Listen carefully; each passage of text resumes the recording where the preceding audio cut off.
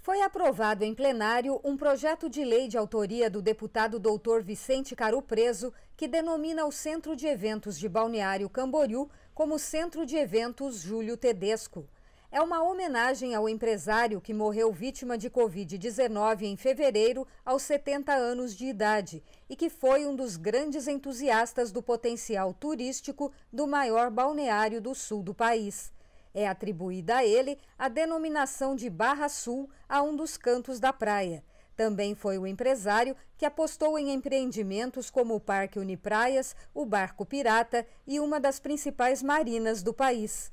Tedesco também mantinha negócios em Caçador, sua terra natal, e em outros estados brasileiros. Grande empresário que traz no seu currículo, em toda a sua passagem, é, inúmeras, inúmeras contribuições para a área do turismo, a área social, enfim, um nome digno.